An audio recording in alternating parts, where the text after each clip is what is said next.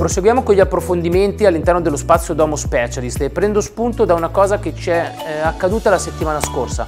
Un progettista eh, molto minimale con un suo cliente a, voleva all'interno della propria abitazione una soluzione che sembrava assolutamente non percorribile, ovvero una porta scorrevole interno muro con una plic posizionata sulla parete all'interno della quale la porta doveva andare a scorrere.